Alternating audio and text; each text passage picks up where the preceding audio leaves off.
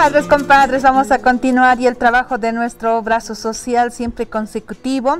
En esta ocasión vamos a dar la bienvenida a la comadre Grisel. Comadre Grisel, bienvenida. Comadre. Estoy acudiendo al brazo social para pedir ayuda para una declaratoria de herederos. Tengo una hermana enferma y me pide ayuda. Yo estoy viniendo por ella y acudiendo porque me, me, me cuesta mucho, o sea, me sale muy, económicamente no estoy en los recursos para hacerlo. Y por eso vine al brazo social. Declaratoria de herederos. ¿Cuántos hermanos son, comadres? Somos cinco, pero yo y mi hermana no nos hicimos la declaratoria y nos cuesta el, el, costo económico es alto y por eso acudí al brazo social ante la doctorita. Ya, ya comadre Grisel, vamos a invitar por favor a la doctora Sandra Camacho que nos explique acerca de este tema, cómo es declaratoria de herederos. Doctorita, ¿cómo está? Bienvenida. Inés, ¿cómo estás? Muy buenos días, muy buenos días. ¿Tiene micrófono, doctorita? por Radio Metropolitana. Adelante, por y a favor. los que nos escuchan y a los que nos ven por la Tribuna Libre del Pueblo, por Canal 4.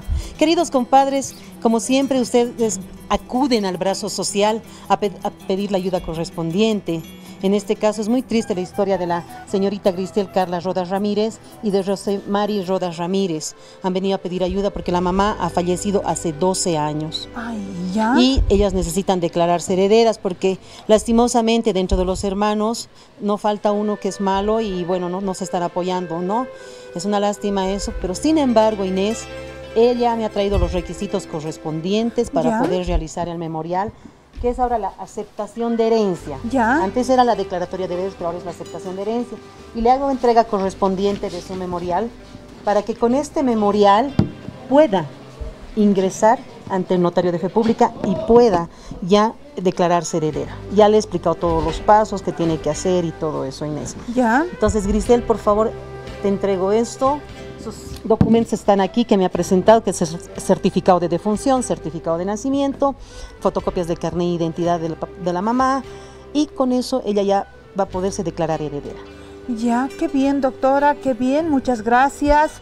Eh, por este trabajo aquí en nuestro brazo social, el caso de la comadre era preocupante, nosotros no teníamos dónde acudir, ¿no? Y la cuestión económica también, doctora. Sí, vino llorando, vino con su hermana, tienen un hermano más que es enfermo, eso también se va a tratar dentro de lo que es un proceso en juzgados de familia y vamos a hacer como siempre ayudando a los que más necesitan. Ahí está, ahora sí más tranquilita, el micrófono préstele, doctorita, por favor, más tranquila, comadre. Sí, ahora sí, muchas gracias, agradezco al brazo social, a la doctora Sandra Camacho por ayudar, por darme esta ayuda a mí y a mis hermanos Ya. que necesitábamos, por eso hemos venido a acudir a...